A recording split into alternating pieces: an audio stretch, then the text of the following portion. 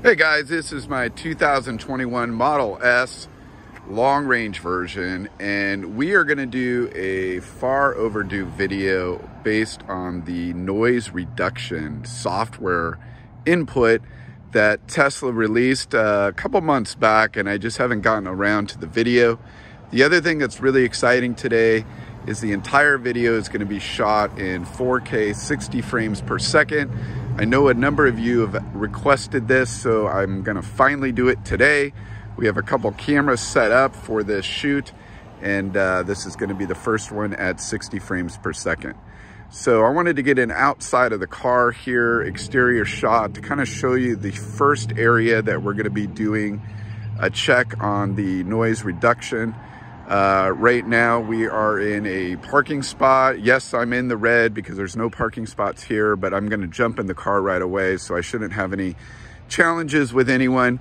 But I wanted to show you how there are a number of cars kind of passing by here.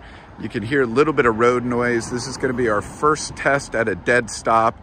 For those of you that saw my first video, I'll put the link below here. We did a noise testing on decibels uh, directly from my Apple Watch uh, based upon going um, um, at a dead stop, then 25 miles an hour, then 45 miles an hour, and then 70 miles an hour. So this is gonna be the exact same roads, the exact same tests, so that we can really see how well the car did. Okay guys, let's go ahead and get started here. I wanna show you how you can actually activate this and, um, and use it and explain how the technology works a little bit first.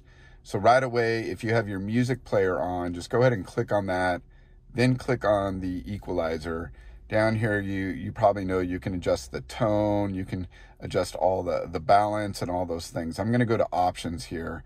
And under the options area, you have the ability to activate uh, road noise reduction. And the, no, the road noise reduction will create what they call quiet zones near the headrests of the car. And um, in my opinion, uh, actually doesn't do this too well. So that's part of the reason we're doing the video today. We're going to look at the uh, noise reduction that appears in the car uh, based on what's going on here. So let's go ahead and activate that. And um, it's going to set itself up. Um, I do have um, one thing that's really important to take note of is um, they that Tesla has put two microphones in the car that are actually in the seat headrest. Only the front two seats can take advantage of this feature. And then what they do is they listen to high frequency road noise. And what they do with that information is then they pump sound through the speaker system in the car. So what I've done is I've got the actual music on pause but what I've done is I've made sure that the volume level is up high. So I have it up at a seven or eight. If you guys are familiar with Tesla, you'll understand what I'm talking about. But seven or eight, um, that will actually uh, make the audio come out of the speaker. So hopefully that, that does the trick for us. Um, but as I mentioned before, there's microphones embedded in the two front seats um, th that then they pump high frequency noise through the speakers um, to cancel that high frequency noise that you get um, on the road. And so this is supposed to do a better job of this. This was issued out in software update 2021.44.5 for those of you that are interested in which actual software update it had and it only is available on the newest uh, Tesla Model S and Model X. So I do not think it's available on uh, Model Y or Model 3, unfortunately. Okay, guys, let's get started here. So our first test is at a dead stop, uh, just like we did last time. Um, I'm going to go ahead and check this out. So as you can see, we do have some cars moving around outside of us. Again, these microphones are supposed to take advantage and um, get the high frequency noises from the outside traffic for what the microphones in the headrests hear and then be able to um, pump audio through the speakers that should take advantage of reducing the noise a bit. Um, I'm a bit skeptical, to be honest with you, but let's go ahead and give it a try. So we are at a dead stop, uh, not driving at all. let's go ahead and take a look at my decibel reader right here on my Apple Watch. And because I'm talking, it's up pretty high, but let me go ahead and be quiet here and let's see what this comes in at.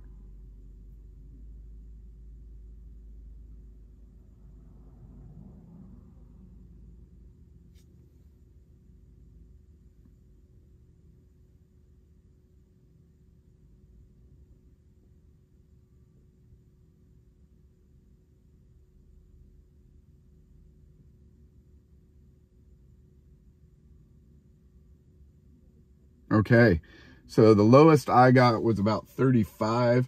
That is slightly lower than our original test. Our original test, we were getting readings between 36 and 38 decibels at a dead stop. So 35 is slightly lower. So let's go ahead and go on to the next test. But uh, this is pretty exciting to just see how well this is going to take advantage. Again, I think this might be just more of a marketing thing. Okay guys, this is gonna be our first test at 25 miles an hour. What I'm gonna do is set the autopilot so that we know for sure we don't go over 25 miles an hour. Uh, so let's go ahead and get going here. Let me go ahead and set the autopilot and rate at 25 here. Whoops.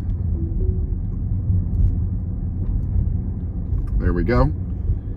And now let's go to and I'm going to be quiet.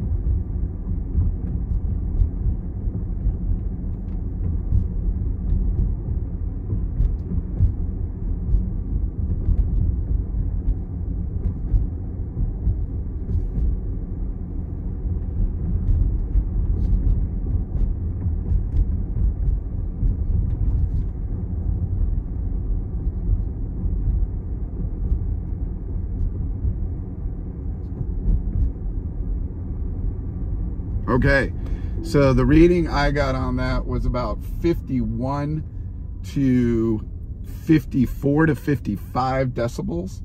And actually that is higher than what we tested before. So that's very, very interesting. Um, so anyways, let's go on to the next test, which will be at 45 miles an hour. Okay, our next test is gonna be at 45 miles an hour. So we will be doing the same thing we did before, which will be setting the autopilot at 45 and see what the decibels come in at. All right, I'm gonna get the autopilot here engaged. And again, we'll set it to 45 miles an hour. Whoops. Didn't like the yellow light. Okay, 45. Here we go. Okay, let's do the decibel test now. Here we go.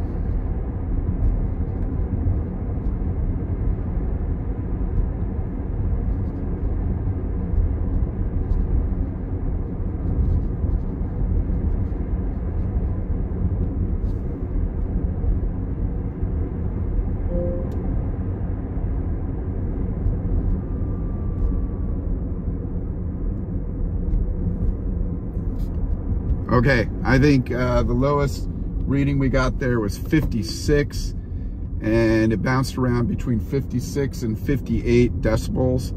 That is a bit lower than we tested before. Before our decibels came in in our first sample test there without the noise reduction, it came in between uh, 58 and 59 decibels. So the fact that we were at 56 is a pretty big improvement. So that's a positive check there. So overall, looking okay, but not as big of a reduction as I think we are all hoping for. Okay, we are in our final test here. Uh, we're just getting on the highway right now. We're gonna jump up to 70 miles per hour and we're gonna do another decibel test. Last time we got between 64 and 68 decibels at going uh, 70 miles per hour. So hopefully we can see an improvement here. So um, as you can see, I'll get on the autopilot here in a second. Uh, let me get on a, um, in the middle of the highway.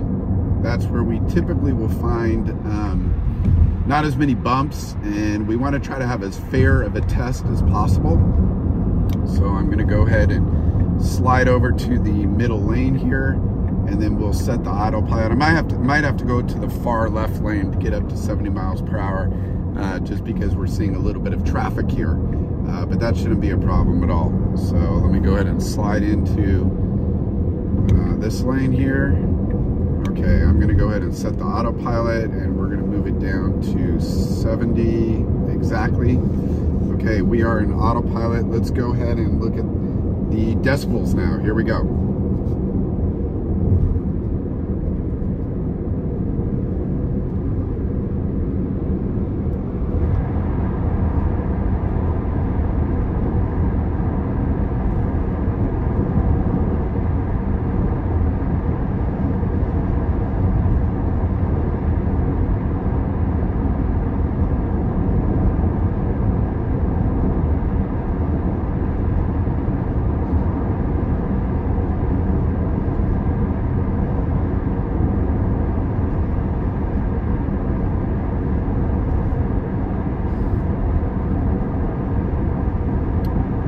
Okay, so the lowest that I saw it get to was about 65 decibels, and the highest I saw it get to was about 68 decibels. So that is not much better than what we got last time. Before we had a 64 to 68 decibels at this speed. Uh, let's do one more test here.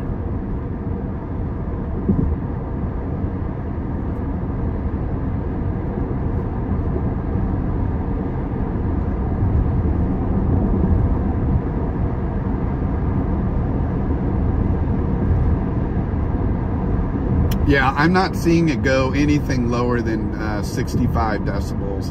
Um, in fact, right there, you probably saw the lowest I even saw was 66. Uh, but the first time we got a 65. So overall, you know, the noise reduction that Tesla has, I'm really not seeing that big of an improvement. So I'm not sure if I'm not doing something correctly or if it's not set up properly. But overall, uh, I'm really not seeing that reduction. So I don't know if this was just more of a marketing thing that Tesla wanted to do, or if they're having bugs or challenges with uh, the particular technology. But as you guys all know, I'm trying to report the facts of what's happening in Teslas, the goods and the bads, um, and really try to give you guys the straight information. Um, but again, overall, I'm not seeing much of a reduction in this. We saw a few highlights here. I'll put up your chart uh, right now while I talk, but you can see a few highlights here where we did the first test at uh, zero miles an hour in a dead stop. Then we're going to 25 miles an hour, um, and you can see the results we got out of that. Uh, then we went to 45 miles an hour, and the results there as well. And last but not least, 70 miles an hour and the results we got on that. So overall, you know what? Um, and by the way, all the roads that I went on were the exact same roads that I did in the original test.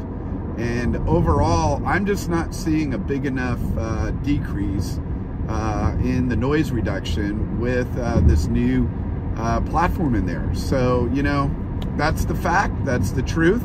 Um, hopefully you guys are seeing that as well. If you have any questions, please put them in the comments.